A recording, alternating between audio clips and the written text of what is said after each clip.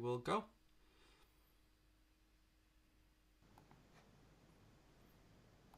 What is up, everybody? You're very welcome along to tonight's late night agenda. I am delighted to say that I'm joined from Claude and Diesel from Gooner Claude TV and Claude and the Banstas on Facebook, on Instagram, and excited to say, and most importantly, in my humble opinion, now on Hot Mic as well. Claude, let's start with you, sir. How are you? Uh, um, evening, everyone. Evening, all you uh, Liverpool fans out there, and. Um, well, it's nice to. Thanks for inviting me on, mate, and um, it's a pleasure to be on here, mate. Oh, I'm really excited about having a chat with both of you guys. I've been on your channel already a couple of times. And Diesel, how are you keeping, fella? Yeah, Craig, oh, yeah, mate, all good, thanks. Uh, really appreciate you um, uh, inviting me and Claude on. Um, hello to everybody in the chat room watching, all you lovely Liverpool fans out there. Uh, maybe, hopefully, one or two Arsenal fans on here. But yeah, to everyone, hope you're all well and looking forward to it. We are, of course, folks, live on both YouTube and on Hot Mic. And as always, we do ask you guys to download that Hot Mic app. Put in the code Anfield when you when you open up the app and you're prompted to do so. Give us a follow. But then, of course, make sure that you go over and give Claude and the Banstas a follow. And Claude, what can I? Welcome to the Hot Mic family, mate. Uh, thanks a lot, mate. And. Um, uh, it's the first time on here, and um, I've, I've, heard a lot. Uh, I've been watching you lately, and um, you do a great broadcast, and you do brilliant work on the Anfield Agenda. And I'm praying because I think your great club deserve to finish this football season because they've been absolutely magnificent this season. And my player of the season, I don't know all these Liverpool fans, and I think is is uh, Jordan Henderson. I think he's been absolutely outstanding. You, you, as always, sir, you're a true gent, and to me, look, my my heart would say Jordan Henderson, but if I was pushing the button, I'd probably go with. Uh, with Sadio Mane and, and Diesel. I know we chatted about this when we were over on, yeah. on your channel as well, mate. Who would give your vote, or who would you cast your vote for player of the season? Yeah, do you know what? I, I, I, I did think a lot about Jordan Henderson, right? But I think if I had to pick, I, I think the player who just edges him, because I really like him, I think it's uh, Gigi Wijnaldum. Um, I think Wijnaldum and Henderson are two two of the most underrated players in this league, right? And as much as we get excited about watching Mane, who is class in my opinion, you know, and Salah and uh, Firmino, who by the way is another underrated player. Um, yes, the goals, the glitz, the glamour, you know, we can rave about those players all day long, but what we don't really rave about, in my opinion, uh, are the likes of Henderson and Wijnaldum, Craig. You know the what I like to call, for lack of a better term, the water carriers. You know the the you know the the two players in the middle of that park who make you guys tick. Take those two out of your team, um, it's it's a lot weaker in my opinion. You know the, the the amount of ground they cover, the work they get through, unsung heroes in my opinion. I agree. I absolutely love both both players mentioned. Mm. And look, there has been some light at the end of the tunnel, so I want to just read out something that I've seen today. The UK government has come out and given the green light for sporting events to start back behind closed doors from June the 1st, with the caveat, of course, that there's sufficient progress made curtailing the virus. Now, it seems as though the Premier League has asked the government to reconsider the use of neutral venues. The Premier League chief executive Richard Masters has said everybody would prefer to play at home and away at all possible. It's clear that some clubs feel more strongly about that than others. We're in contact with the authorities and listening to the advice while also representing clubs' views in those discussions. He also said, in a strongly a strong collective will come to complete the season uh, but admitted curtailment was included in the talks today for the first time. And another quote from the chief executive said that there is a strong desire to discuss everything in the round and agree a collective way forward. Now, Claude, for you, sir, what do you think is going to happen and what do you think is the best way forward in your opinion?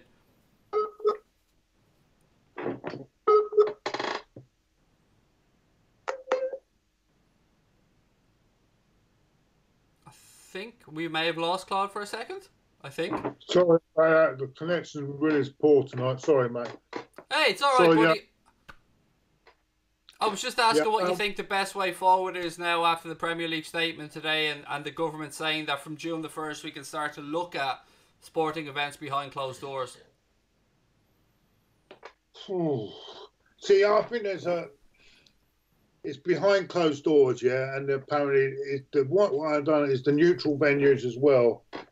And the, what what's going to happen is now that a lot of these clubs in the relegation area, like uh, they have to get an agreement from at least 14 of the uh, 20 clubs.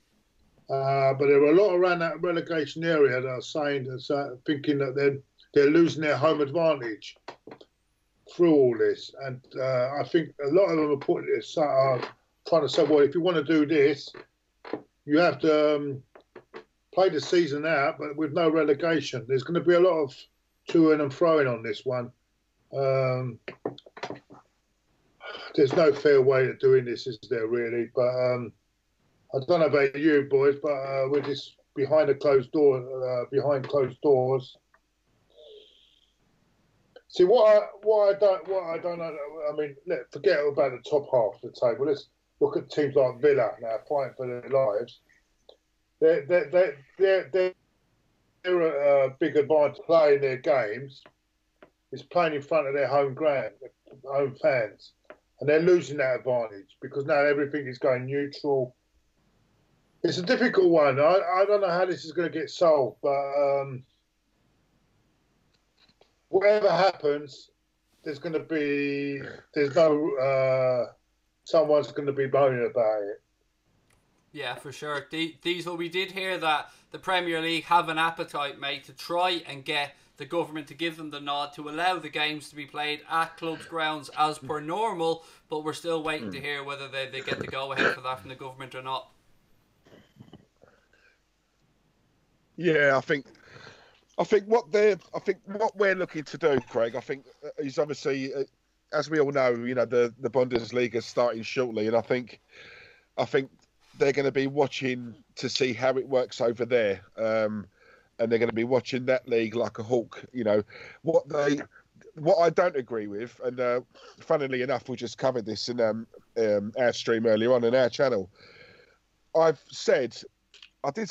No one misses football more than me, you know, and um, I do miss it. However, the only thing that doesn't sit right with me is is the fact that when I'm hearing about players being tested twice a week, and then on the flip side, I'm hearing that there's not enough. There's a lack of uh, resources, you know, for our key workers, NHS, and obviously all the people who work in the supermarkets, etc. Um, I can't see how that's fair. How players can get tested twice a week, and yet little old nurse down the road can't even get one. And I think that's that's that doesn't sit right with me at all. It just stinks of greed, and I just think these players are no different to us, other than the size of their wallets, right? Um, what makes them more privileged to to get these resources over a lot of our key workers? That's number one. Number two, uh, these behind the closed doors and at neutral grounds. Um, I said it earlier on. You know, these players, they, you know, these are millionaire football players, right? It, if they, if it's behind closed doors, and you know there are no fans in the stadium at all, then for me, Craig, it doesn't really matter where they play. You know, um, I just think it's it's it's it's an irrelevant argument.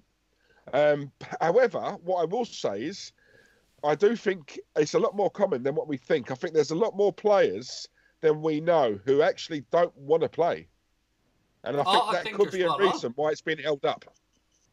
Yeah, I think You know. somewhere there was there was a survey done that suggested perhaps up to twenty percent of Premier League players Diesel were a little bit worried about coming back and playing. Yeah, exactly.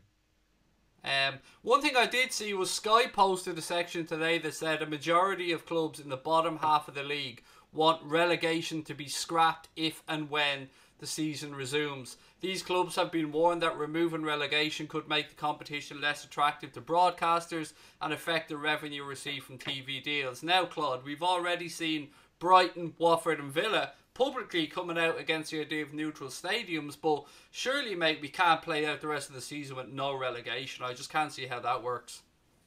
Yeah, but I understand that, and I, I fully understand what you're saying, and uh, that is true. But then they have got a good case as well because they could say, "Well, look, we've we've had the we've had the disadvantage of not being able to play all uh, our our required home games, and their their home games are, the, are, are significant in their pursuit of safety.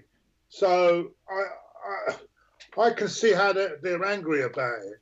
So there isn't enough. There's a no-win situation. We're going to have a lot of this. Whatever way you look at it, someone is going to complain about it, um, because it's like uh, say no, let's go to the top. Right, say Liverpool were one one point ahead at the top, or or uh, and then uh, uh say uh, only one point ahead, and then they've, they've got less home games left than away. Uh, uh, they've got their home games. They can't play their home games anymore. And suddenly, Man City overtake them. It's it's not a very fair fair thing, is it? Do you un- do you get where I'm coming from here? Yeah, if, if we can get to the point, Claude, where the Premier League and the government come to an agreement that we can play out the season with the fixtures in the stadiums they're supposed to be played, then can you see my argument as to why the no relegation stuff is just sides looking after their own interests? If we can get to a point where, you know, let's say all clubs can play the rest of the games in their stadiums just behind closed doors. No, if you can play your own your own ground, that's because you're used to that that, home pitch. You're used to it, aren't you? Even if there's no fans there, but uh, it's it's a it's a very really difficult one. Ideally, we'd like um, to wait a while and get fans back, but who, how long will it be before fans are allowed back? Um, I, I, don't know. I don't know anymore because one minute we're told uh, we're relaxing the uh, people now can go in on tubes and pack tubes up, but yet we can't we can't um, we can't have foot, uh, fans in football grounds. I don't understand this. It's um, oh, I don't know, mate. It's it's a hard, it's it's a difficult one. I, as I say, I don't think there's any easy answer to this. I think I, I think Diesel touched on it a minute ago when he said that I think he basically implied and rightly so that there was always mm. going to come a time, Diesel, where finances came into play here and the government wanted to get people back to work. And look, let's be quite blunt about this, mate, because I like to be honest in what I say. There was always yeah. going to come a time in a lot of countries, and I include my own country in this, where the country getting back to work almost outweighs human life. It's a horrible thing to say, but it is a harsh reality that sometimes yeah. this will boil down to economics. Yeah, no, it's true. It's true, Craig. It's just, it's like at the end of the day, it's, it's you're, yeah, you're right in what you say there because it's, you know, the economy, you know, and all that. Obviously, we still need to, at some point, you know, we can't keep on, you know, furloughing staff, right? You know, and furloughing people. It's a lot of money. My worry is the after effects of all of this. You know, so when it eventually goes back to normal, um, you know, you're talking about the biggest credit crunch of all. I mean, it's going to happen. We're talking billions here. Um, and that's not just us. That's obviously America. That's you know other countries as well. We're talking billions. So it's the after effects. My my whole thing is with this. It's just it's at some point football's got to come back, right? But the social distancing thing will remain in place for the rest of the year, and in my opinion, probably beyond. You know, we're talking about a whole new world now you know, and, and as for the clubs, uh, the lower the clubs lower down the league moaning about it, um, it's got to a point for me where I think the FA need to just make a decision, which is non-negotiable, right, and go with it because there is no win-win situation. I, I've racked my brains, Craig. I can't think of any possible way where everyone comes out happy right? You know, what they need to do is go with the fairest decision they possibly can which is which is reasonable for the majority of clubs, and go with it. Otherwise, it's just going to be a constant moan from certain clubs or a constant, you know, uh, regression, and you're you're never going to move forward. Make a decision, stick with it, non-negotiable. Like it or lump it. This is what we're doing. End of. You know. Uh, it's true, and I absolutely understand. Claude was was trying to express himself a few minutes ago in the best possible way. It is a difficult situation. I'm tripping myself up trying to think what the next sentence is going to be because, as Claude said, and rightly so, nobody has a Scooby Doo. What the hell is going on here? We're being told one thing and something else is happening. But, gents, what we can talk about with some happiness and I suppose some viewers, fans, and I'll come to you first on this, Claude, is transfers. Now, one kid from your club who we've got an eye on, and I know you guys want to tie down to a new deal, is Saka. What's your take on him, mate? Keep your hands off. Love it. now, um, yeah, I can see I can see the attraction with Saka, but for me, uh, he'll be very limited to getting opportunities at Liverpool at the moment. I think uh, he's got to decide what does he want to do. Does he want to sit on the bench for 12 months? All right, he might get the medals, but uh, or try and pursue his career at Arsenal. Um, it's a difficult one. I don't want to lose him. I'm not sure if he's what the situation we. Are. I'm not sure if he's got one year left on his contract or if he's if it's coming to the end of his contract. Yeah, uh, I wouldn't want him to go to Liverpool on a free because I think he's a very, very, very talented player. Still got a lot to, lot to, um, still got another level or two to go up. Uh, he's not quite at that top level yet, but he's got a lot, a lot of potential. Uh, I would be very, very, very sad to see him go.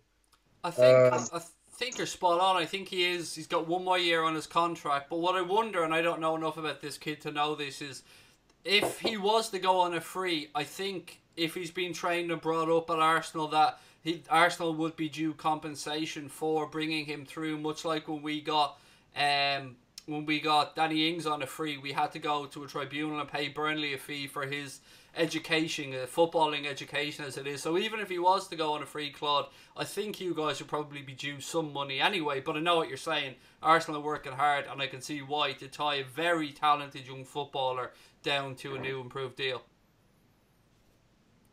Yeah, I, I, I mean, I, I, want him to stay, and I hope we can improve his contract.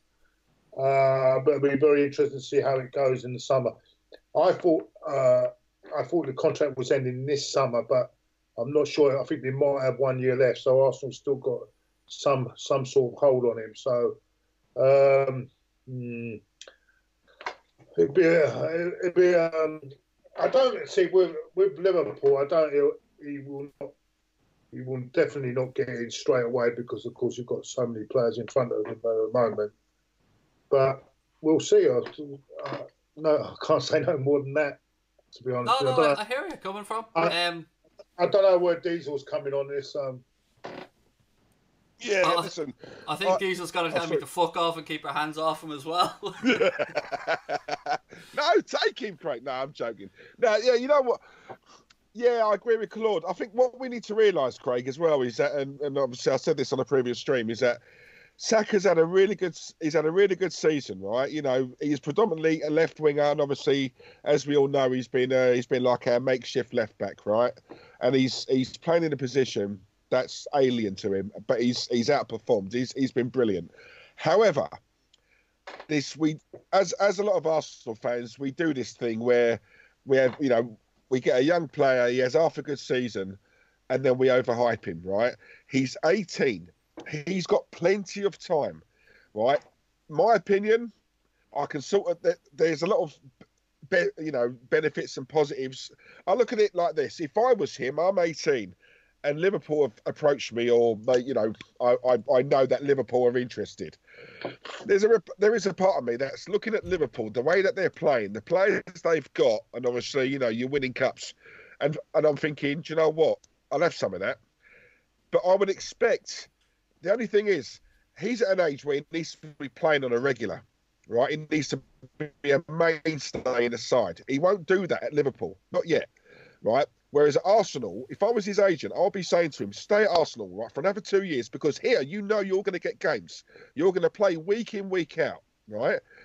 I judge players a lot, Craig, in the second season. I've seen bigger and better players than Saka blow us away. And then second season, when the opposition know how he plays, know how he moves, knows his movements, right? They can't keep it up. I'm not saying that's going to happen to him because he, has got a lot of uh, potential, right? But all I would say is we just need to relax and calm down. Let's not overhype him too much. He is still a kid, right? But what for him now, the most important thing for Saka at 18 years of age is to play every week, week in, week out. Learn your game. You're still learning. And if in two years he's smashing it and he wants to go, he'll have his pick of clubs. You know what I'm saying? But I think we just need to be a bit more, just uh, you know, relax on him a little bit. Um, but yeah, he's 18. He, has got years to go. You know, uh, we've seen kids, Craig, haven't we? You know, let's be honest, we could name them now. We've seen kids who get things too quick, right? And obviously, you know, they they they get seduced by the money and the glamour of certain clubs, and they lose themselves. He needs to be at a club. You know, he needs to be looked after. Don't let it go to his head. Stay humble, and trust me, the riches will come. You know, I, it will I come. absolutely agree, Diesel. I've said I've said the yeah. same about young Haaland. I've said the same about uh, the kid at Leicester, Maddison. There's no rush. These players have they can probably play now till they're 35, 36 years of age. I'd love Saka at Liverpool, but if I'm him, rightly so, and he's happy where he is. If the club can tie him down to a new deal, I understand exactly where you're coming from. Now, Mr. Claude, I do have a question for you, sir. Do you think there's going to be much activity in the window as a whole in this summer, and who have Arsenal got their eye on? Oh, I think everyone is going to be struggling at the moment because uh, the, uh, we, as you can see, uh, Arsenal have uh, asked their players to take a twelve percent pay cut, and it would be quite quite amazing that they would um, put out big money after that. So I don't think that's going to happen. I think we're looking for loan deals more, uh, more, more than anything. I mean, probably swap deals. I think possi- possibility of uh, Lacazette going to Atletico Madrid and uh, Thomas Partey, who is a defensive midfielder coming in. That's been strongly uh, suggested. Uh, there's a lot of suggestions saying about um, uh, what was it, uh, Willian from Liverpool, uh, from Chelsea. Uh, but I can't see that because I think we've got enough wide players. I don't think it's necessary for us. And also, we've got Saliba, who is already coming anyway. We got him last season, and then we sent him out on loan, so he he'll be coming in. So apart from that, I can't uh, I can't see anything else. Um, not that much happening. Uh, more ha- that's the only real things I can see at the moment. Um, there's the the um, yeah, that's all I can see really. I, I can't see anything else but that. Uh, going out, of course, you just mentioned uh, the possibility of Saka going to Liverpool. I hope it doesn't happen. Um, and even the, the players that we got that we we need to offload, it'll be very difficult to offload them because of the money that's not available at the moment. And who's going to pay? Who's going to pay Ozil three hundred and fifty thousand pound a week when we're in this financial crisis that we are in at the moment? So we won't be able to offload these players like that. So it's going to be a very difficult summer for us. I was thinking something similar about a former player of yours as well. You spoke there about Ozil. I mean, United are going to try and move on Sanchez permanently, and who the fuck is going to pay him the type of money that he's getting now? And I think you've hit the nail on the head, Claude. I think we're going to see a lot more of this player to player, player swap for a player involved in deals. And one thing that I heard muted in a kind of a big deal was was Antoine Griezmann heading to Paris Saint Germain with Neymar going back the other way. So I think you're spot on, Claude. And Brian Morrissey, one of our mods on the channel as well, thinks that you don't usually see many straight swaps like that or players like players included in deals these days. It's not as common as you think. And Thomas Partey, somebody who was linked with us at one point, but I genuinely didn't think we had the need for. I think he'd be a great piece of business for you guys, Claude. And um, have you watched much of him? I mean, obviously you've seen Atletico knock us out of the Champions League, so I'm a bit bitter about that. But he's a good player. I saw him against. Uh, I should not be judging players on one one game, but there was a lot of high, high, high reports from people that watch Spanish football. Uh, but I did see him against Liverpool. It was very impressive uh, in that in the game against Liverpool. But then you can't judge. It's very difficult for me to say on one game to judge a player. I mean, if I'd have done that, I'd have said John Jensen when we bought John Jensen for that that goal he scored in the European final. Everyone's going mad. And look what happened there. He never, he hardly ever scored for us. He scored one more goal for us. So listen, it, it, this is what I'm trying to say. You can't judge players by watching them once, but he has got high. He's very highly regarded in Spain. He's played a lot uh, for Atletico Madrid. Uh, Lacazette is wanted to go to Atletico Madrid before they had that transfer ban, and it suits both parties. And I think uh, both could benefit. Lacazette's confidence has gone a bit at Arsenal, and I think they could benefit. Both could be, uh, benefit from the move. Diesel, what's your take on that exact same deal? And I also might want to ask you because I, I don't think or know if I had a chance to ask you this on, on the stream on your own channel. Is what was Arsenal fans' take on Alex Oxlade Chamberlain's move to Liverpool and the fee that was paid for him? Right, I'll start with the deal first. I think the uh, if we've got a chance to swap Lacazette to, uh, with Partey coming our way, I would take that all day long, Craig. Right, and th- this is the thing, right? Arsenal is a very, very big club, especially in Africa. Right, big club, massive. And um, you know, you're hearing noises about obviously Partey's dad, obviously mentioning Arsenal. Um, that for me, it's like it's like with a salesman. You know, a good salesman can always spot buying signals, right? And um, I I genuinely think Arsenal could get Partey. The issue I've got with this club of ours is we diver too much, right? And then we allow another club to quickly get in and get him and, and you know and wrap it up, right? We're too slow off the mark. Um, I generally do think he he would come to Arsenal. Um, I think he's even come out and said, growing up, obviously, you know, in Africa, obviously, Arsenal is a is a very well supported club. Anything like that, a buying signal, in my opinion, you go for it and sound the player out. They've got a player we want, and we've got something they want. As, as, as far as I'm concerned, it's as simple as that, right? midfield enforcer, and I think Thomas Partey fits that bill. Um, so if, if, if, it was up to me, do it all day long. Do I have confidence in it? To be honest, Craig, no. Um, so that answers that. But um, Alex Oxlade Chamberlain, um, very, very good player. Um, slightly underrated, in my opinion, when he was at the Arsenal. Um, he's the kind of player, Craig, I, that I just knew um, would get better. For him to get better, he and, and to realise his potential, hard as it is to say, at that time, the best thing for him to do would have been to have left us. And I think we're seeing the proof now. You know, proof is in the pudding. You know, he needed a coach who had confidence in him, play him in a position where he wants to play. Because when he played in that centre mid for us, he played very well. And then the next game, he was on the wing again. Then he was in the middle. Then he was on the wing. You know, in my opinion, Wenger ruined him. And when you've got a player who leaves us and would have been a more money if he'd stayed, but took less money, he just wanted out the club. That's that's alarm bells for me. That's alarm bells. And you guys, for forty million, I believe it was, you've got one hell of a player there, and he's only going to get better, right? Um, I feel for him because of injuries. But before he got that injury, he was he was smashing it for uh, you know um, you guys. Every time he played, he was doing the business, and it's it makes a difference when you've got a manager like Klopp, who's got such confidence in him. I tell you what, I'm watching him thrive, and I'm looking at it out of jealousy, Craig, if I'm honest, and thinking, do you know what? He could have been doing that for us.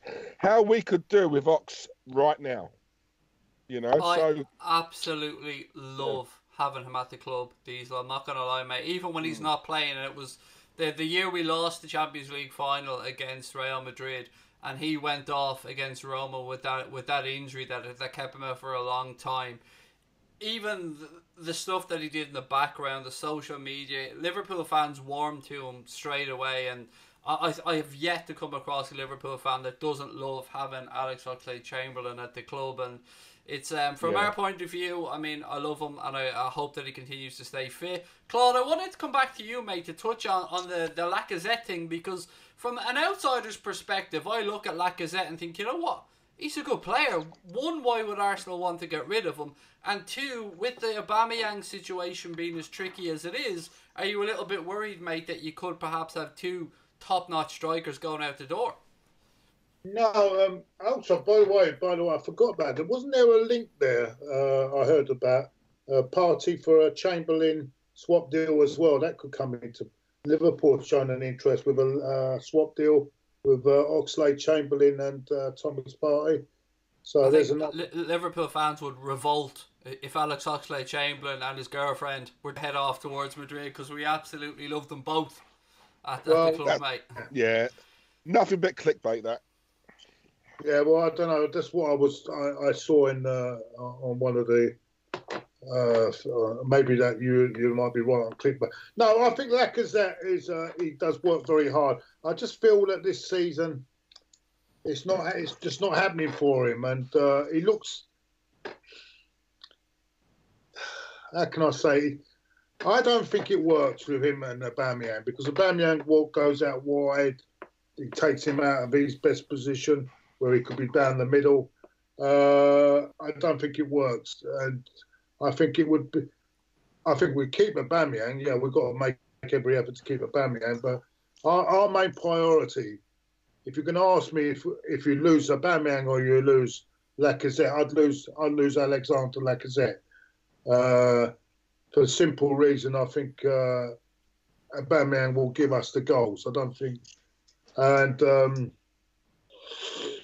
we are desperately needing that that midfield uh, player, that, uh, in that type of player that Thomas Partey will. That, that's the type of player we do need in midfield. Our midfield at the moment is shocking, to be honest with you. I think Diesel will agree with me. It's a Yeah, shock. yeah. State. He's in a shocking state at the moment, and we need to adjust that as well as we need another centre half. I think so. These are the positions that we need to work on. So, for me, yes, I would let him go but because I think, I think in Spain he might actually, uh, it might suit him even more playing for Atletico Madrid. And it might might do him a favour, and it will do us a favour. It work. I think the deal would work for both clubs. Diesel, one, one player of theirs who's actually strangely enough being linked to you guys at one point was Dejan Lovren. Now that that shocked me when I seen it from the point of view of like you've already got questionable centre back, and I say that with respect, mate. Uh, you don't need to be adding Dejan Lovren into that mix, surely. Yeah, it's uh, yeah. Again, Craig, if I'm honest, I, I, it just seems like clickbait to me. I mean, don't forget we've got eight centre halves at the club, right? We've got eight centre halves, and if I'm totally honest, none of them are good enough. You know, um, it, it's it smacks of desperation really when we've got eight centre backs, and yet every Arsenal fan will tell you we we are crying out for a top class centre back, and we've got eight centre backs at the club. Dejan Lovren, um, for me, he's an okay player. He's one of those players for me. He becomes good as long as he's got someone quality beside him, right? And I think, um, you know, when you're playing alongside Virgil uh, van Dijk, I mean, obviously, I, think, uh, his performances did go up, and obviously, he looked a really good player. But I think, I think to get the best out of Lovren, he it all depends on who's alongside him. Um, you know, so I think prior to VVD coming in, I thought he was poor. Um, if I'm honest, and I, I think a lot of I think a lot of Liverpool fans have said that. I don't think he's that much loved at the club. If I'm honest, It's um, it's a tricky one. I mean, there are periods where I mean he had an absolute stinker a couple of years back against against Spurs at Wembley, and it was horrendous. One of the worst centre back performances I've seen. But to his immense credit, he goes through periods, months on end, where he shows that he can be a top level centre back. I mean, let's not forget he's played in the World Cup final with Croatia. He's been in Champions League finals with the Reds. He he has it in him, but he also does have a Dejan Lovren moment in him as well. oh yeah, do you know what? Right, it's it's it's like you say that. My flip side to that is we've got a centre half who's won a World Cup, and he's dreadful, Mustafi. You know, it's it's. But again, again, I won't be too hard on him because, and I think Claude would agree, he's improved a lot. He does have decent games, but there's there's just a mistake in him, and unfortunately, it's always the same mistake. It's like he doesn't learn. You know, you expect players to obviously watch games after and obviously um, wrinkle those uh, those mistakes out and, and learn from them, but he doesn't. And I think Lovren pro- probably, I would say, would probably fall in the same category. You know, albeit he doesn't make as many as Mustafi, but you know. One league that is coming back, Claude, and it starts at the weekend is the Bundesliga. I mean, it, it's football. It's not quite Premier League football yet, mate. But are you going to be watching it? You going to be keeping an eye on the Bundesliga? Yeah. At the moment, I watch two flies going up the wall. At the moment. uh, no, uh, to be honest, yeah, I will, I will, I will watch it. I mean, I don't know what channel, what channel are they will be. Is on a Pacific channel. I probably will watch think, it. Yeah. I think BT have the rights to it in the UK, if my memory serves me correct. Although I was Well- checking, they still haven't got a TV schedule up for it yet because they haven't sorted that out yet. I believe. Is it this weekend? It's coming back, isn't it? This weekend coming up, isn't it? Yep, spot on.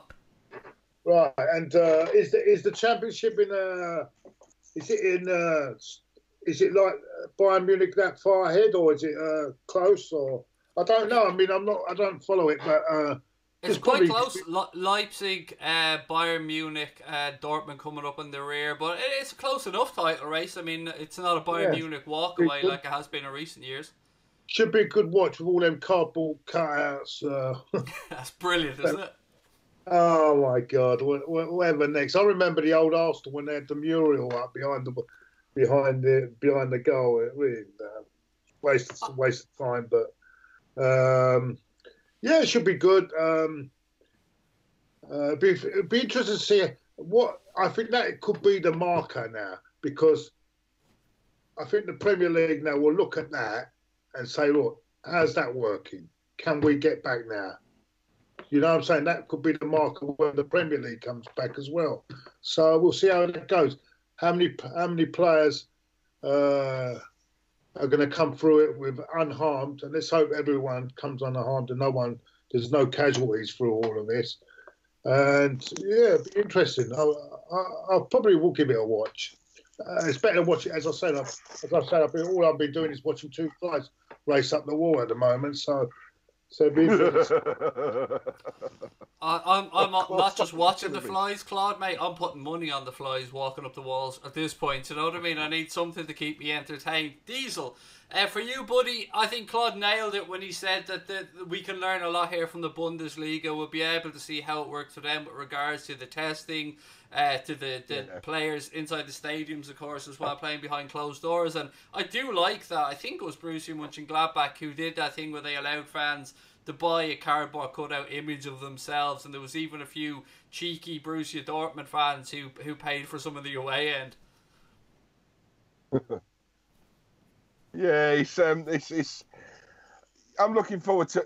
When you said uh, Claude nailed it, Craig, at first I thought you meant he nailed it because he he uh, he bet on one one of the flies and uh, he got the winner. But, oh, um, we, cl- we cleaned up, mate. Me and Claude made a fortune. Oh, it's never me, is it?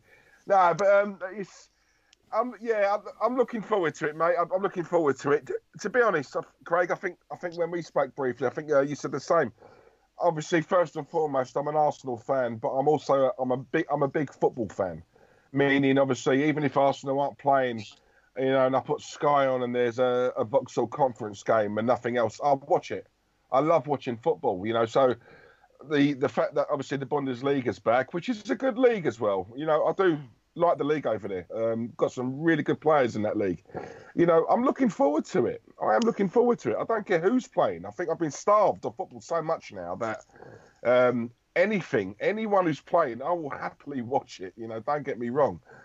Um, so I'm looking forward to it. My, my only, the only thing is, I just hope and pray that it all goes swimmingly and it goes nice, and you know, because it, the uh, you, know you do fear if, if if anything was to happen regarding this COVID nineteen, you know, it would just throw things into disarray even more so than what it you know than what it has been already. But I've got every confidence in it in um, in in the German league because one of very few countries, Craig, who have done things properly. done things properly, done it the right way, and you know they're more or less out of this now. And you have to give, you know, have to obviously take your hat off to them. You know, they've done it properly. I'm jealous. You know, they don't, they we don't should fuck have about followed the that Germans. blueprint. Yeah, the Germans Exactly. definitely don't fuck about. Now, while I have both you guys on, I do want to take a second to, to give a shout out to Ian Wright actually for the way he publicly dealt with some horrible little bastard that, that racially Yeah. abused him. And, I- and I want to say, look, I- I've always admired Ian Wright's views on, on football. He seems like a lovely fella. And I'm, I'm saddened, Diesel, that we're still in a world where people like Ian Wright and other people have to put up with this type of shit, mate. It is disgusting. There is no. And from the surname, I actually feel like the guy might be Irish. From the surname that was that, that of the uh, Instagram DM that was put up, it is horrible. Yeah. I just want to say that I completely back Ian Wright and applaud him for speaking up again about it. I just wanted to get your take on it really quickly, if I can. Yeah, uh, I saw it earlier on on Twitter. Obviously, straight away I liked it and obviously uh, retweeted it because obviously I want everyone to know about, about this little bastard. Um, the fact, do you know what? And the thing is as well, someone I saw another tweet um, from this guy who's obviously looked at this this this scumbag's profile and there's a picture of him posing with a black guy. You know, and he just it just goes to show, doesn't it? It just, Craig. You know what? It's I've always said right when people ask has racism improved, there's a there's a, a massive part of me that thinks it it hasn't so much improved. I just think it's a lot more hidden. I think back in the day, you knew what was what. Now, um, you know, someone who's very friendly to you behind your back could be the one who's holding the knife. You know, um, so it's it's unfortunate. We're always it's it's never going to change really. Um, it's it, all it is is people hiding behind keyboards. You know, and uh, I totally respecting Ian Wright for outing him uh, to right, and I hope he's having a hard time now, this scumbag, whoever he is, because obviously he would have been recognised by a lot of people. Um, it's one of them. It's just one of them things. It's one of them things. I'd like to see him. I'd like to ask the question: Would you say those things if you had Ian Wright standing in front of your face? Because I not. guarantee it'd be a totally, totally different conversation. Yeah, I think You know? I, I, I, I, I want to attribute this, I think, to Martin Luther King, but you want to be judged by the content of your character and not by the color of your skin. And it is, it is, Claude. It's a time, mate, where I mean, you and I are. I don't know how old Diesel is, but I'm heading for forty, and and I mean, mate, there's there's no room in society, let alone football, for this kind of carry on and and the stuff that Riley has put up with there, mate. I thought those. I hope naively that those days are behind us. Well, this is the problem. We all think uh, we uh, we go on about uh, how this country is better at handling race. Uh, is more has learned its lesson over racism, but I'm afraid I think this country is in a worse state than anywhere else, and I'll tell you why. Because it's all hidden, and that's that exactly what Diesel said. It's a lot of it is hidden. There's a lot of hidden racism uh, in in in this country at the moment, and it's disgusting. It's. Um, I hope the guy has been dealt with, uh, and been spoken to, or, or at least been given some sort of cau- uh, some sort of caution. This is not acceptable. That is not acceptable at all, and it's just. I don't know more more to say, but unfortunately, we live in the world of social media where people have got the freedom to get attention a lot of attention on, on social, and that's the way they they want to get attention. So they they think, oh look, look at me, I've just got Ian Wright's back up, and that's the way he's got his attention. He's got his name in the lights, and that's the way he's got his name in the lights. So what more can you say than that? Um, I feel very sad. I don't know uh, how it because now I think um, the, the problem is before you didn't you couldn't DM someone on Twitter if you if you didn't uh, if he didn't follow you, but now you can, which uh, maybe that should be um, looked at as well. Where if you if the guy if Ian Wright or someone like me doesn't follow someone, that they can't uh, DM DM him. So it's it's all it's an awful awful thing. For a bit of fun, gents, and to li- have a bit of light-hearted humour before we finish up, I want to ask you both, and I'll start with you, Diesel. What shows, mate, have you been binge watching during this lockdown?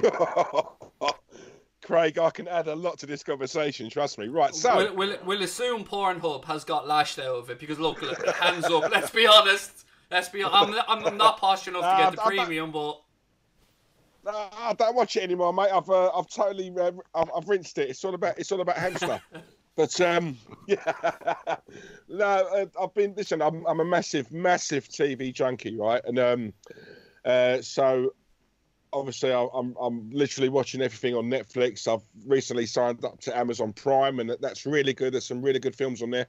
I've just finished watching. Well, over the weekend I watched um, Afterlife um, Ricky Gervais, and I would recommend anyone to watch that because that has got every emotion possible. I laughed, I cried, and I'm not ashamed to admit it. It really gets you, Craig. It really gets you. And anyone who's got a heart, um, or who thinks they can sit through something and not cry, watch this because I'll tell you, it, it will have you in bits. Um, that was brilliant, really uh, well, uh, well written. And I've also just I've just finished watching Gangs of London um, two shows so far apart it's unreal. But yeah gangs of london and honestly i'm about to start watching it again. It was that good. Um, so yeah absolutely brilliant. But After- anything horror i'll watch. Afterlife, I- I've I'm in I'm into season two or series two now. But as you said, Ricky Gervais is a master of the art of, of what he does, and it is it's poignant at times. As you said, when he looks back at the videos of his wife, and it's funny, like when he meets a little ginger kid at the school and, and stuff like that. And the oh postman, it, it, it, ha- it has its moments for sure, mate. Um, and Claude, what about yourself? What have you been watching? Funny enough, I, mean, uh, I I used to think my my my mum who uh, departed in 2009. She used to watch Waterloo Road, and I thought, the well, why do they keep watching this every week? so I thought I- I went on and had a look at it. I was like, I I've been watching every every series through through and through. And I've, uh, so I've watched all that, and um, uh, it, it reminded me of my school days. You know what I mean? When we was all at school. So, that, Back, so, back, so- back in the black and white days. yeah, yeah, exactly. I don't even think it was black and white when I was going to school. Uh, I don't you used to go was, to work an Alston cart I don't, I don't think it was even television when I went to school, mate. Um, so I've been watching that. I've been watching old football videos, um, the glory ones when Arsenal, um, uh, the 2004 unbeaten season, watching games like that, going through all, all different things, all different. Uh, uh, I saw a brilliant Brian Clough documentary. Um, the great Brian Clough, uh, what an amazing guy. And what I couldn't, uh, well, I was shocked because I didn't realise how bad that, how he never got the England job uh, yeah Yeah. because of the snobs that rather have someone um, that, that, uh, they'd rather have a yes man. And the guy, and I didn't realise this that, that Ron Greenwood wasn't even a candidate until I watched this uh, this um, this uh, documentary. Uh, that he wasn't even a can- uh, candidate. So, uh, and he got the job instead of Brian Clough, and uh, they went for the the guy that didn't spoke up against them, and that was that Harold Thompson at the time. Uh, and so maybe England will regret they never had Brian Clough as a manager because I think they would have been a lot better. At least he would have put a few people in their place. Well, Uh, if anybody what- has, if anyone has Netflix and hasn't watched Tiger King, yeah, get get on it. Um, it is the most batshit crazy. Uh, if you have, if you don't know what it's about, lads, it's it's basically about exotic animal keepers in America, but it links into murder. It Oh. links into it, it. It's mental. I can't even try to describe it to you. It's on uh, Netflix. I think it's a it's an Honestly. eight part documentary if, if my memory's right, but it is mental. Craig, you know what? Um, on Friday, um, because obviously everyone's been talking about it, and I thought, oh, you know, what's all the fuss about? I've watched the first episode. Right, I've watched the first one, so I'm I'm going to watch the second one shortly. Um, but and I don't know what goes on. What one thing I do know is there's something seriously wrong with that woman. Um, that's all I'll say. but yeah, um, apparently I've been I've been told that obviously, yeah, keep your eye on her because she's not what she seems. But I'm gonna carry on watching it, and everyone's raving about it, so I've got to watch it. It's amazing. Look, gents, I'm going to let both of you go, but I want to say to everybody out there, please go over, check out Claude and the Banstas on Hot Mic, Claude and the Banstas on Instagram, on Facebook, on Twitter, and of course, uh, Claude Gunner TV as well. Gents, it has been a true pleasure having you both on. I hope to catch up with you real soon. Claude, I know I speak for all of us here when I want to wish you all our best, mate. Lots of love to you and to your dad as well. Um, it's been honestly, Claude. It's been a pleasure, mate, chatting to you. Uh, no, it's been a pleasure that you've. Uh, thank you so much for inviting me on. I really, I really have enjoyed it, and uh, I, I really do hope, and be, because I've got a lot of admit, I've always had a lot of uh, admit, admired Liverpool, the way they've done things and everything, the style, the class that they showed at Anfield when they um, in '89 when they uh, the, the uh, saluted Arsenal as they won the league. But I've always had that, that admiration for them. A great football club. Uh, I, I always say Liverpool fans know their know know know their football, and I and I mean that. I really do mean that. And uh, uh, I will uh, hopefully they get the title that they deserve. You're a gent, sir. And Diesel, as always, it's been an absolute pleasure catching up with you as well, my friend. Yeah, no, Craig. Yeah, just, just to echo what Claude said, I really, you know, we really appreciate you guys, you know, you having us on, um, and much appreciated for all the nice comments in the chat room as well. Um, Craig, top man, got to know you really well lately, and um, I'm so glad we have. I'm so glad we're stop, you know, that we're talking, and you know, we're friends, mate. We look after each other, so yeah, you're part of our family, mate. That's for sure. So I really appreciate it. You know what, mate? That does mean the world to me, and I mean that sincerely. And for Liverpool fans watching, don't worry, the show isn't about to end. We're going to carry on. I just want to say goodbye to the two lads. And again, Claude, Diesel, thank you so much for coming on, and we will catch up real soon. And lots of love to you both. Cheers, Craig. All the best, mate. Top man. Top man. Thank, thank you, guys. Right, guys, it is just us now, and we are going to carry on and get back to all things Liverpool. As always, it's a true pleasure. It was so much fun talking to Claude and Diesel. Let me just get these headphones off. I need to. Your ears readjust when you get the headphones off, and there's loads for us to get through from a Liverpool perspective. Uh, let me just change the OBS to the all hot mic so I can give it a plug as well. Ladies and gents, if you did enjoy that chat with Claude and Diesel, don't forget that they are also now on hot mic as well. So please do help us out by downloading that hot mic app. There is a link in the description. It's absolutely free, and with the Bundesliga coming up as well at the weekend, our watch alongs are going to be starting on there. So please do download the Hot Mic app. Put in the code you see on the screen there now, Anfield, all capital letters, all one word. And when we get to 2,000 followers on there, not only will I do a forfeit as I promised, I'm going to uh, give away another £50 Amazon gift card to one of our followers on there as well. And keep an eye out because there's about to be some big Hot Mic news dropping over the next few days or so. So keep an eye out on that app. I keep bigging it up, but I know things that I can't quite let you guys know yet. But please do download that app, put in the code Anfield, give us a follow, and then of course go over there, give Claude and the guys a follow as well. And look, let's get stuck into all things Liverpool now because there is a load for us to get through, ladies and gentlemen. So, former uh, Leipzig boss Ralf Rangnick has warned Timo Werner against the move to Liverpool and used Naby Keita as an example as to why he shouldn't move. Talking about it, he said, "So far, he's not the player that he was here that he was here with regards to Keita. The surroundings must be right for Timo. That is the case here." I want to get your thoughts on that, ladies and gentlemen. Do you think the Werner move is going to happen? There's loads of other stuff for us to get through as well settle in. This could be another 45 50 minutes, ladies and gents, and I hope you can stay with me. I've also got some brilliant news to say that I've got a couple of interviews secured. Um, I'm going to be chatting with Miguel Delaney of The Independent. Uh, that won't be live, that'll be something that we'll pre record.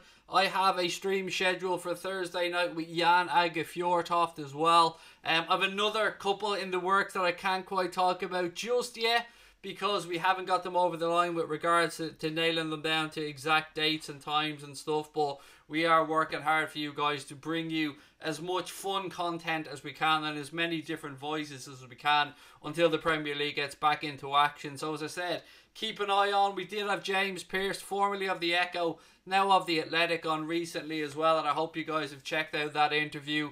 Thank you so much to James Pearce for giving up his time. And I'm really looking forward to those chats with Miguel Delaney, with Jan and the couple of other people that I can't quite let you guys know about as well. Um, as always, ladies and gentlemen, super chats are open, memberships are open. Memberships to the channel are just 99p a month. That gets you access to the Discord group as well. Uh, gets you use of all the cool emojis that you see people messing about with on the screen, and it gets the Anfield Agenda logo beside your name. There is also an ultra membership that's four ninety nine a month, and that will get you everything I've spoken about before, and then that will get you the special podcast that's going to be coming out with myself and Connor. Um, we're going to be doing that twice a month at a minimum as well. Also, anyone that's watching us on Hot Mic right now, if I can ask you guys one favor, and I'm going to come into the chat now because I know when I've got guests on, it's very difficult for me to to dip into the chat because I, I want to talk to the guests and give them their time to, to air their views and opinions. So I know sometimes that means that I neglect the live chat. Well, this is why I'm staying on longer because I want to get to your opinions and I want to get your thoughts. So, uh, Hot Mic as well said, Craig, I need that Amazon gift card. Origi said over on Hot Mic. Then make sure you're following us, mate, on Hot Mic. And if you are following us, you're in with a shout of getting that Amazon gift card because we're not a million miles off getting to 2,000. I'm hoping that we'll get to 2,000 followers before the season's out anyway. So again, thank you for that. Joanne, thank you for the super stickers. I've seen the first one earlier on. It's not a start of an Anfield Agenda stream without Joanne giving us the onset super sticker. So thank you so much for that. Right, let me get to your comments. Um, Liverpool, you never walk alone, says Naby hasn't flopped. Absolutely agree. Delwyn Jones said Timo coming to Liverpool at You'll Never Walk Alone. Uh, Elijah John 5 said Fjørtoft was class at Swindon Town. Um, he's just a class bloke all around. I mean, if you've seen his interviews with Jurgen Klopp, the, the Let's Talk About Six interview and stuff like that as well, he's uh, he's lots of fun and, and I really appreciate him giving up his time like that for a chat. And that will be live, that one. Um, it should be Thursday night at half past eight if everything goes to plan. And, you know, Jan's schedule might change, something might come up, but it is planned for Thursday at half past eight, so I'm very much looking forward to that one as well. And uh, let me just dip over the hot mic, see if we've got any more opinions or questions. Red for Life said, Hello to everybody, hope you're all keeping well and uh, winning the league on the way on the right pitch. Uh, what else we got? Joanne. Joanne's made great use of all those Anfield Agenda emojis, which is what you get if you become a member. And I'm not sure if we've quite hit the 200 members yet, but we're getting very close indeed. Uh, so L'Equipe also believe that Lyon will be willing to sell Houssem Aouar for around 44 million pound, and we've heard mixed views from different journalists on this one. Uh, so I want to know what you guys think about the possibility of Aouar coming to Liverpool. And we know for a fact that Lyon's chairman Jean-Michel Aulas, or as we nicknamed him on the channel, and this is an old school one, Johnny Cunty Locks, is a real nightmare to negotiate with. I mean, Nabil Fekir, the Fekir situation ring any bells with people. So um, I'd love I'd love us to go out and get Aouar, but Aulas is very difficult to deal with. Um, and with the financial situation as it is, I don't know if that's us pushing our luck. Um, but nobody can convince me that we won't get Werner. I mean, nobody. I mean, I'm gonna even every journalist in the world can tell me that one's not gonna happen. But I, I'm, I think we'll get Werner over the line. I really do. Um, Seamus Moore said Werner and Keita could click at Liverpool. The dugout, how are you, sir? Said said that earlier, Craig. But my thoughts are with everyone connected to Bradford City on the 35th anniversary of the Valley Parade fire, and thoughts are definitely with everyone who lost their loved ones too. A beautiful sentiment, Doug, and of course one that we wholeheartedly echo on the chat as well. Uh, Carl Kent Coastal Kent Coastal Holiday Let's uh, any update on what happens with the out of contract players? Yes, there has been an update on that, Carl. So the Premier League have been given the nod to extend those players' contracts to the end of the season, and I think that's it was always going to happen, wasn't it? But it, it has been approved now that they can extend those players' contracts just to see out the remainder of the season. So yeah, the likes of Adam Lallana from our perspective, Nathaniel Clyne, things like that, uh, Willian at Chelsea their contracts will just now renew to the end of the season. Obviously, the clubs will sit down, you know, cross the T's, dot the I's, and get everything sorted out. Uh, Digger True Red said, Craig, Sky Sports have confirmed if a player gets the virus, the whole team will be put into quarantine. What do you think? Look, I will defer to the medical experts, mate, on this because it's not. I mean, how can I give an opinion on that when you know, there are people far more educated and far more better placed or far better placed than myself uh, to give that that situation. In Germany, it's been a little bit different, I think. Um, in certain situations, I mean, I think Dresden, I think, have had to delay a couple of matches for the very reason that you've spoken about. I think so. This is a fluid situation, mate, and one that will change as we go along. And, and it's why I think what's happening with the Bundesliga will be so important for the rest of us to be able to sit back, Premier League included. And they had their stakeholders um, conference call today, and there's loads of stuff in that that I wanted to get through as well is uh, what have we got? I'm Gonna miss Lallana. Actually, said Gabrielle. Yeah, I mean, I've mixed views on Lallana. I mean, when Jurgen Klopp first came to the club, he was so important to us. He was he was a, a really pivotal part of the press that we had. Himself and Bobby Firmino. Um, I think that injury and father time have slowly started to catch up with uh, Adam Lallana. And although I think it is the right time for him to move on, I will always remember him fondly and wish him well with the rest of his career. Um, Gazzetta dello Sport believe that. What have we got? Uh, what have we got? Who's it? Uh, oh, sorry, yes. Gazzetta dello Sport believe that Roma are weighing up a move for Dejan Lovren, whom I mentioned earlier on when I was talking to Diesel and Claude. Uh, it's believed that they view him as a more affordable option than keeping Manchester United's current loanee Chris Smalling. So again, I'd love to get your thoughts on that one, ladies and gentlemen. What do you think? Do you think we're going to see Lovren move on at the end of the season? And if so, what do Liverpool do? Do Liverpool just, you know, sell him and bring through Sepp van den Berg, maybe Ki-Jana or the Liverpool go out and sign an experienced centre back? We won't be signing Koulibaly. I know a lot of people are going to be coming at me saying Koulibaly, Koulibaly. It just, just won't happen, I'm afraid. I mean, it's just too much money in this current climate for a player who wouldn't be a top priority for us right now. I think a forward and maybe a midfielder, from what I can gather, are, are the, the positions that we're looking at. Uh, Delwyn Jones said, Aouar is very good, young. I just can't see us getting another new midfielder.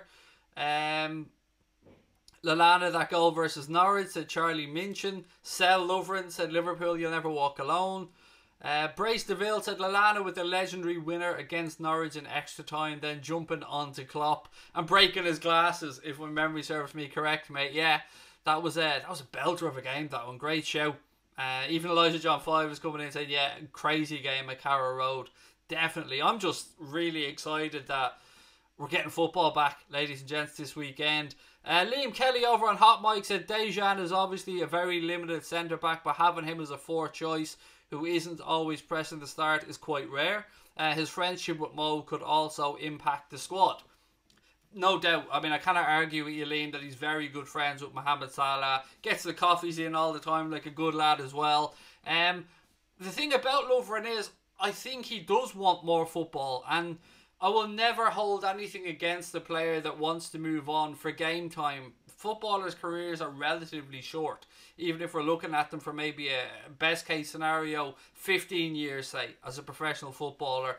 Um, so as much with Simon Mignolet when he wanted to move on for game time as well. If Dejan sits down with Jurgen Klopp and they have an honest conversation, and Klopp says, "Look, you are our fourth choice centre back as things stand. My first pairing are Virgil Van Dijk and Joe Gomez, and then Joe Matip is our backup." Maybe Degsy and Jurgen Klopp will come to an agreement that it is best for him to move on. Um, I see a few people in the chat suggesting Nathan Ake as a backup. I mean, I love it. I'd be all over that if I'm being honest with you. Um, him being a Dutch international as well, obviously playing with Virgil van Dijk there. I mean, I take it, yeah. I see a few comments for it. I, I haven't seen links really, if I'm being honest, but it's a good shout. I mean, I know you guys know your football, so absolute belter of a shout that one. Um, if he gets the coffees in, keep them, said Red for Life. He definitely gets the coffees in, coffees in made for sure. I've seen so many videos of uh, of Degsy coming to Mo with the coffees, and you gotta love that. I mean, I wish there was one of my mates bringing me cups of coffee every day.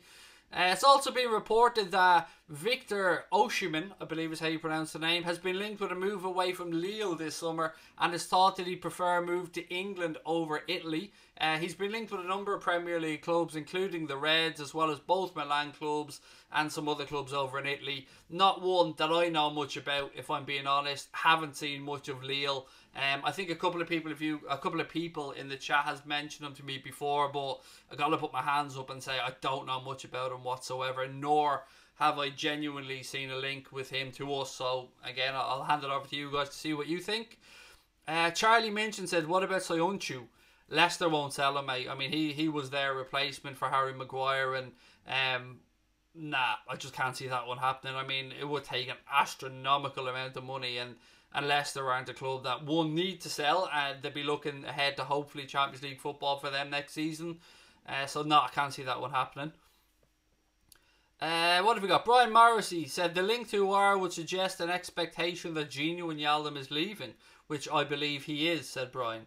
Uh, Lallana and Gini leaving means a big hole for just Curtis Jones to fill. And look, I've said time and time again, Curtis Jones, I have no doubt, will be a baller at this club and one that will push on and have a great career here.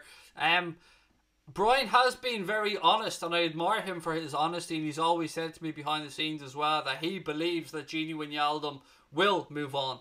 Um, I hope that he doesn't. I hope, and I, I very, I don't like to disagree with Brian, but like, I mean, I'm not saying Brian wants him to leave, but Brian is very strong in his belief of what he is being told. Um, I hope Gini stays. I hope Michael Edwards sit down and we get that contract sorted out.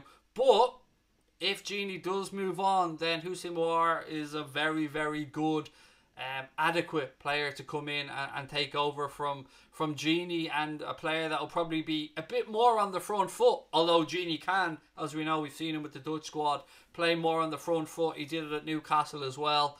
Um, yeah, look, it's a difficult conversation to have, Brian, but you know we're adults on here and and we try and uh, take everything at face value. So, um, yeah, I mean, it's an. I'd love to know what other people have to think about what Brian has said there. Uh, Dugout said, "Will you be doing any watch-alongs for the Bundesliga?" Yes, mate. Absolutely. You can call us the Bundesliga agenda until the Premier League gets back. I mean, um, for sure, going to be doing as many watch-alongs as I can, which is why I keep saying to people, download the Hot Mic app because that is the best app to watch uh, or watch-alongs on because the beautiful sync button. So if you haven't used Hot Mic before or if you've used it during this this lockdown and you haven't been able to to use it for its real function, which is commentary of games, you're in for a treat when the Bundesliga comes back because we will be broadcasting games, of course. We will be doing our commentary on them. And when you download that Hot Mic app, the first thing that you're going to be asked to do is to put in your welcome code or were you given a referral code. That code is Anfield, as you see on the screen there now, all capital letters. Then you'll be prompted to give us a follow on there as well if you've used that code. Please do that. Next thing you'll go through and you'll see a list of upcoming events. So at the weekend, let's say on Saturday, we're doing a game in the Bundesliga. Click on that game. Then you'll see the list of people who are broadcasting the game. I hope you choose us and go on and click Anfield Agenda. That then what will happen is a big roundy button will appear on the screen of your phone or on your tablet, and that button is a sync button, S Y N C sync you hit that button and it listens to your television and it knows the point in the commentary or in the game that you specifically in your own home are at. And it then adjusts our match commentary to you so it's perfectly in sync with how you're watching the game. You then lower down your television and our commentary will play through either your mobile phone your tablet your bluetooth speakers or whatever your choice is. Even the chat gets delayed for you so your live chat is up to date no spoilers of goals that go in or anything like that. And with the Premier League looking like it's going to come back next month as well, what a better time to download that Hot Mic app. And as I said, it is free to download, it is free to use. There's no ads on it. It is beautiful. There's not even many trolls on it at this point because it's so new. So please do download that app. You've got ourselves on there. Um, you've got the Anfield Wrap on there. Redmen are on there. Um, Claude and the Banstas are on there. Lee Chappie's on there. Lee Gunner's on there. Somebody else who I can't announce yet is about to come on there as well. And some more big, big, big YouTubers and broadcasters coming along the way as well. If, you're not just a fan of football, if you're a fan of NFL, if you're a fan of, of ice hockey, if you're a fan of any sport, UFC, boxing, whatever, Hot Mic is the app because it allows you to get fan commentary the way it's supposed to be delivered instead of a, a Martin Tyler esque bias, bullshit, boring. Nah, Let's let, let's just go. Hot mics the way. Get the Anfield agenda. I mean, I've probably just ruined any chance ever of working on Sky Television, but fuck it, I don't care. I'm a fan, and I want you guys to uh, enjoy our fan content. So again, download the Hot Mic app, and we will of course be on YouTube as well. Uh, so please, if you are enjoying the stream, hit that subscribe button on YouTube. Uh, Dave Sweeney said, "Hot Mic Craig, listen, listen to Craig calling Lovren a cabbage." Uh, yeah, guilty. Did do it. Can't lie. Uh, if Liverpool were offered Rashford, would you take him? Said Anfield Agenda fan Ryan. Well, firstly, mate, belter of a name, thank you. Uh, would I take Rashford?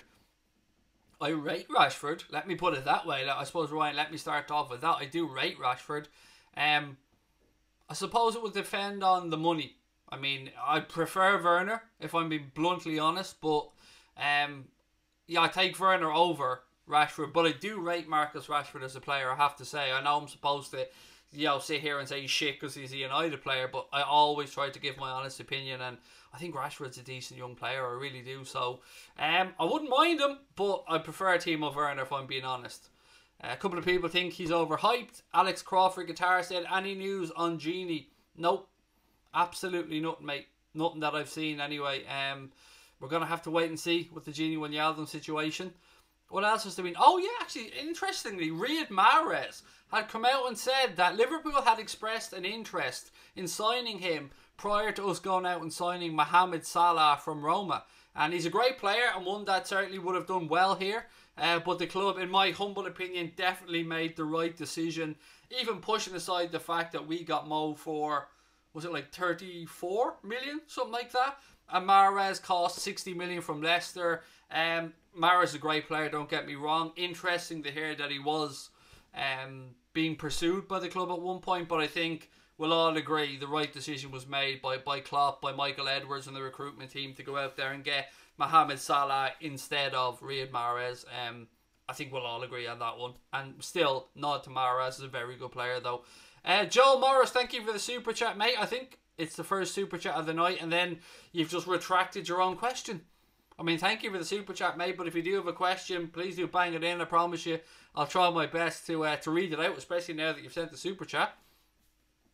Mahrez went to get a big paycheck to sit on City's bench, said Seamus Moore. He's starting to work his way into the side a little bit more, though, Seamus. Um, Liverpool, you'll never walk alone, said King Mo was the right decision. Uh, Red for Life over on Hot Mic said, I take Rashford, we could get the most out of him. I, I like the way this is. I, I, like the way we have different opinions on here, but you know we can do it in a respectful manner. I like that about our chat. Uh, Keita or Oxlade-Chamberlain could replace Gini Wijnaldum, said Seamus Moore. I'm keeping an eye out for Joel just in case he does put that uh, comment in because he did super chat and I like to try and read out every super chat that we get. So you retracted your own comment, mate. So I don't know what to say. Uh, any truth in the Ndombele rumor? Said Casper. No. I mean, ask yourself this, Casper. One, why would Spurs go and pay, was it 50 something or nearly 60 million quid for the record signing and then loan him out to a Premier League rival? Um, we don't need him, is another reason. I, I think him and Mourinho, if my looking at this from the outside is correct, don't seem to be getting on. Uh, but nah, no, it would be a no for me anyway, mate. And I think the rumours are complete nonsense, to be fair. Uh, Carl Kent, host Kent. I keep getting this wrong, mate, don't I? Kent Coastal Holiday Let's. Thank you for the super chat, mate. Said good night, everybody, and stay safe. And mate, love to yourself and Julie, and of course all your staff at Kent Coastal Holiday Let's. I hope you're keeping well. Um, Craig, would I take Anthony Martial at Liverpool? Said Joel Morris. Um, no. Mm. I'm going to say no, but again, respectfully, because I'm not going to sit here and say he's a shit player. Um, yeah, no, I'd say no. At this moment in time, I think I would rather we went out and signed other targets. But um, would you, Joel? Would you take Anthony Martial at Liverpool, or would any of the chat take Anthony Martial at Liverpool? Uh, Liam Kelly over on Hot Mic said thoughts on the Ben Yedder rumours. Genuinely, Liam, and I, I don't mean to be dismissive, mate, but I haven't seen them. I haven't seen anything about Ben Yedder and Liverpool.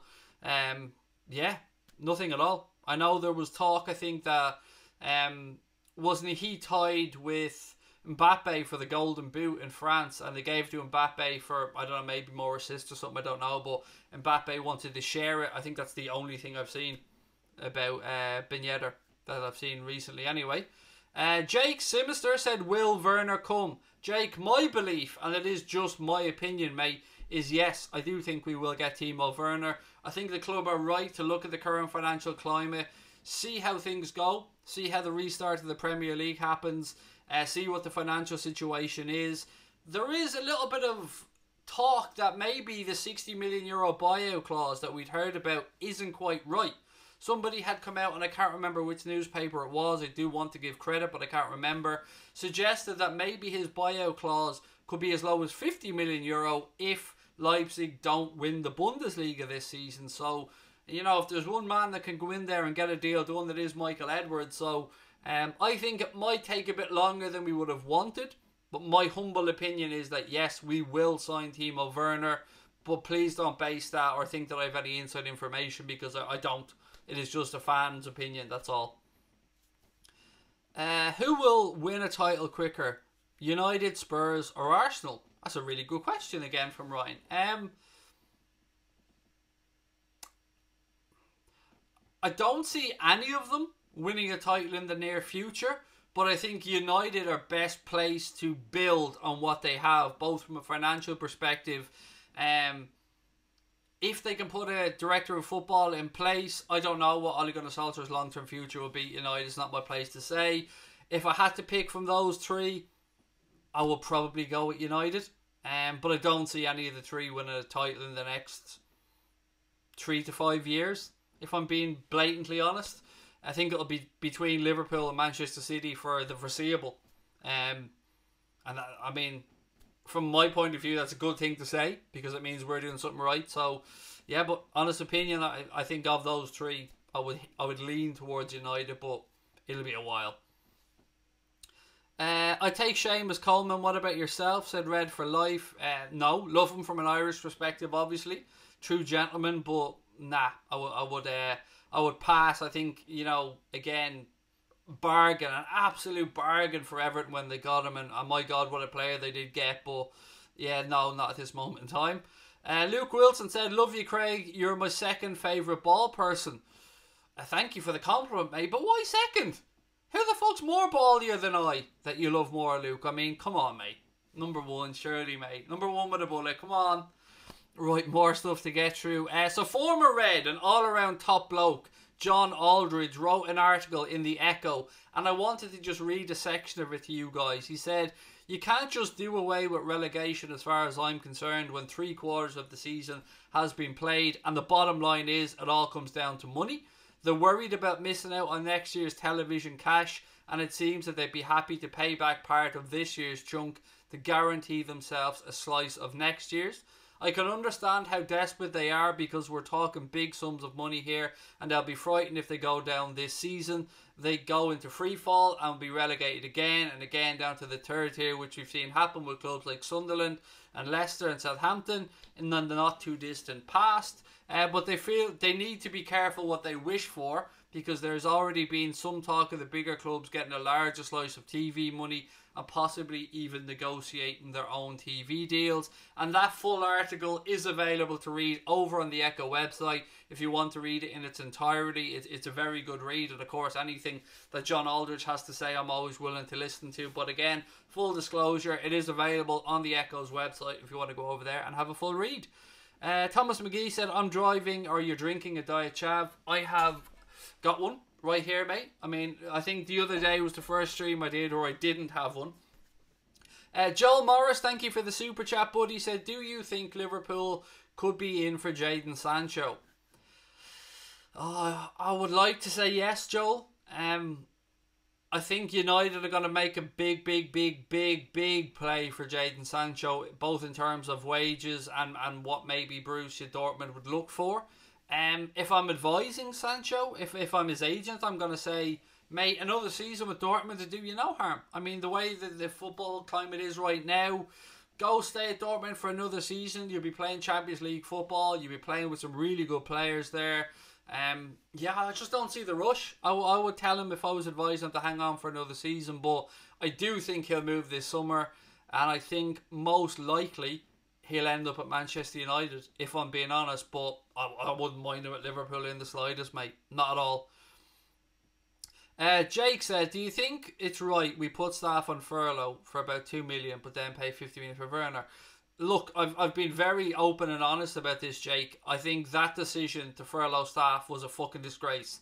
Nothing short of a disgrace. I mean, I I'm I'm I'm, happy to give FSG all the props for all the good stuff that they do, but I'm not afraid to call them out on their bullshit, mate. And that was bullshit of the highest order.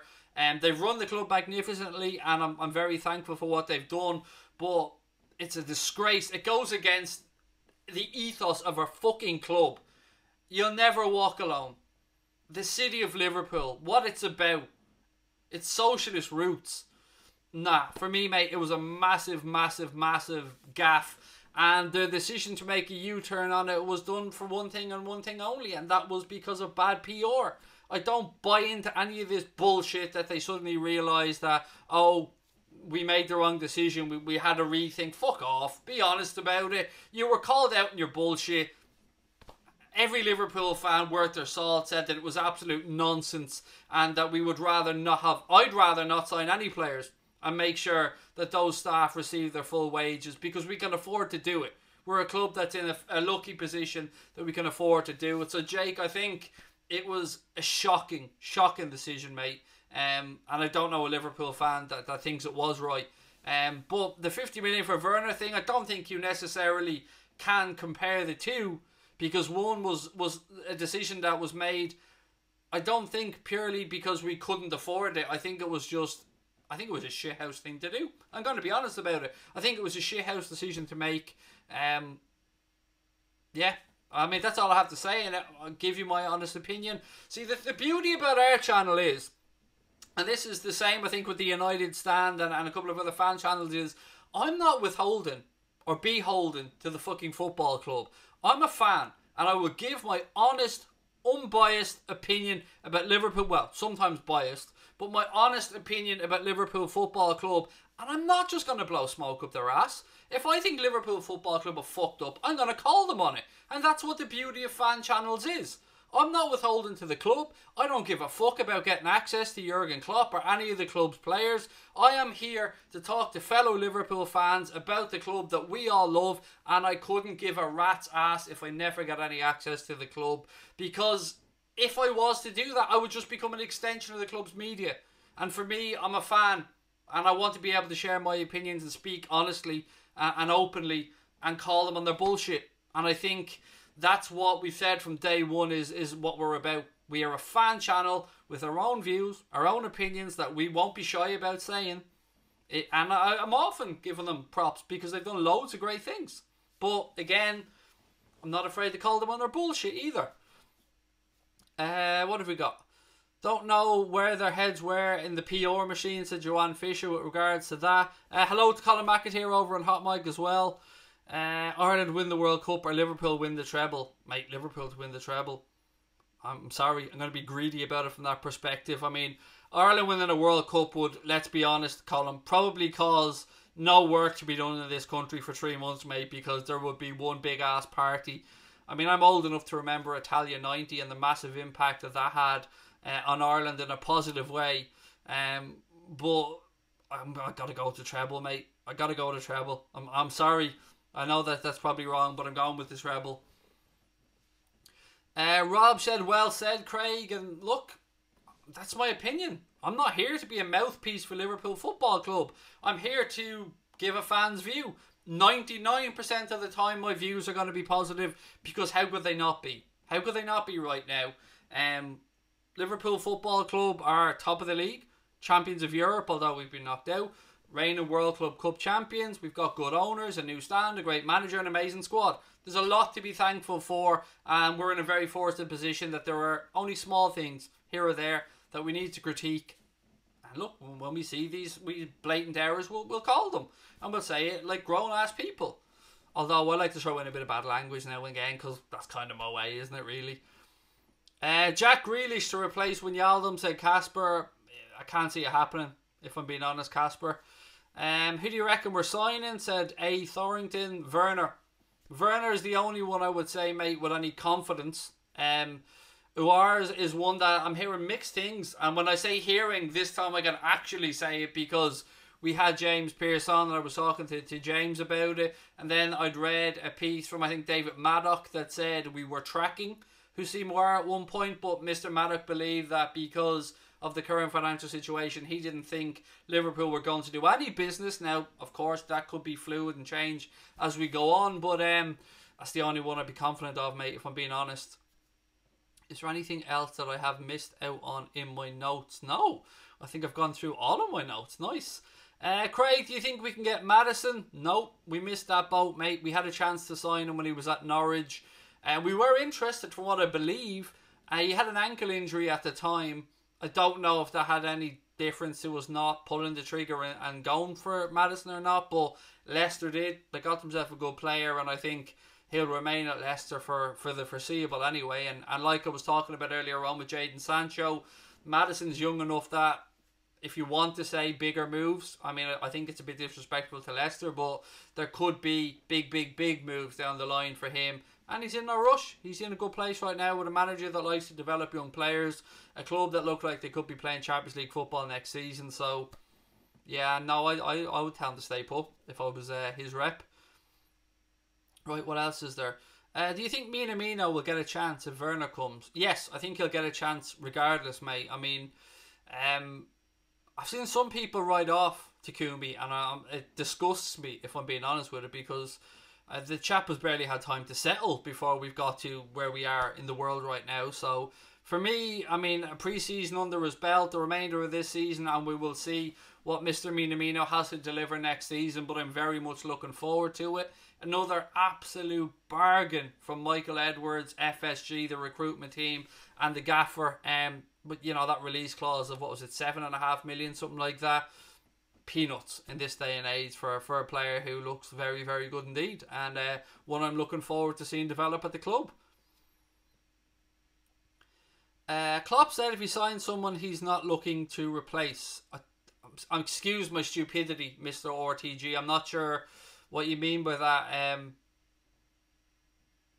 as in he's not looking to bring in somebody. So let's say we signed Timo Werner, he's not looking to bring in Werner to replace one of the front threes. If that's where you're going with it, absolutely agree with you, mate. I mean, it's to add to what we have. We don't need to sell.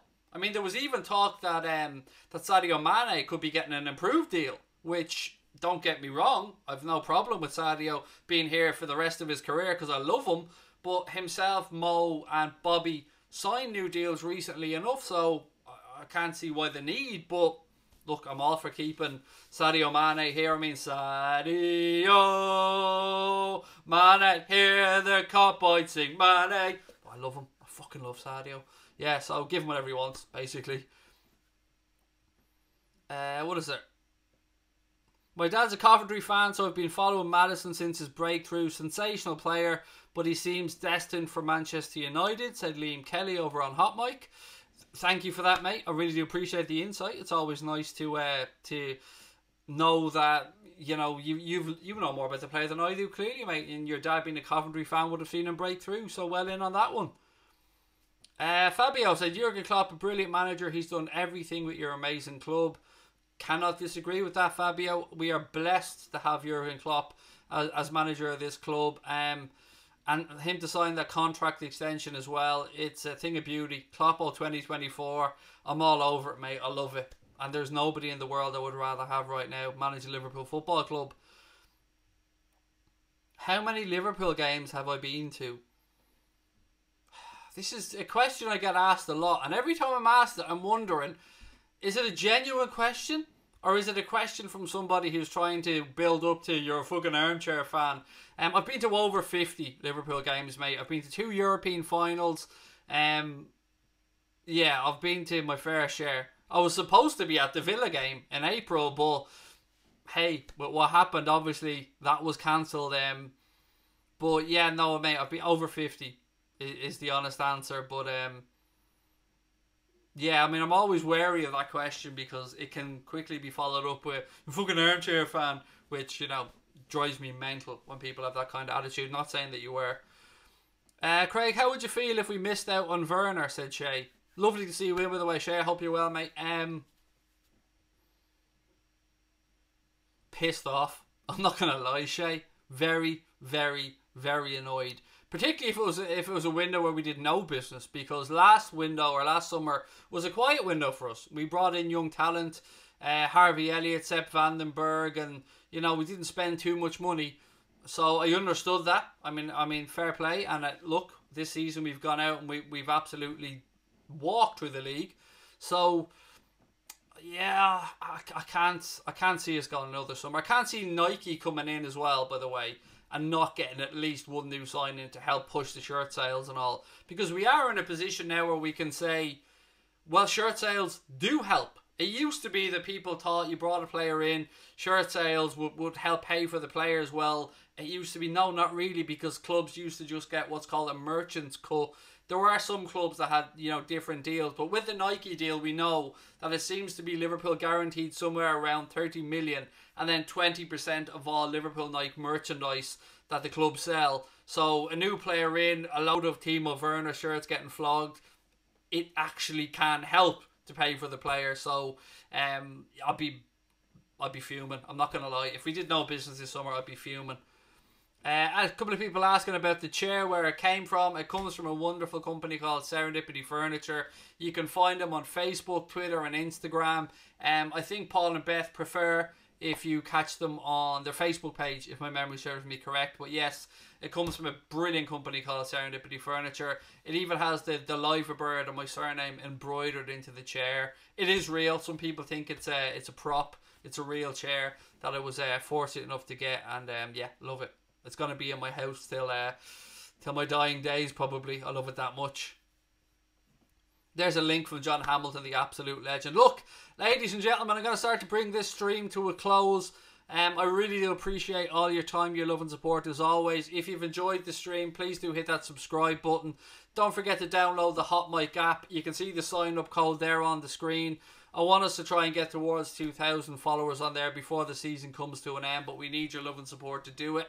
Again, our next stream will probably be, I would say Wednesday. I mean, make sure you've got your notifications turned on on both Hot Mic and on YouTube. But I would say we're probably talking Wednesday. And um, then hopefully we have the Jan Fjørtoft interview coming up on Thursday. And then we'll work towards the weekend, the Bundesliga coming back as well. But look, as always, thank you for your time, for your love, for your support to everyone that sent in super chats. I really appreciate it. All these little things make such a difference to a small channel like ours. Um, if you want to become a member, it's only 99p a month. Hit that join button. You get use of all those cool emojis that Liverpool YNWA just put on the screen right there now. And um, yeah, again, it really helps us out. But look, most importantly, stay safe. Look after your loved ones. And as I always say, up the motherfucking Reds. I love you, crazy bastards and bitches, and, and everyone that watches um, your support means the world to us. And a shout out to Connor as well. Shout out to my boy Connor, the other half of Anfield Agenda. And um, the reason you haven't seen him active lately is because he is just about to hand in all of his stuff, his thesis and everything for his degree. Today is the last day, and after today, Connor will be on his way to getting that degree later on down the line. He's about to submit everything to his tutors right now.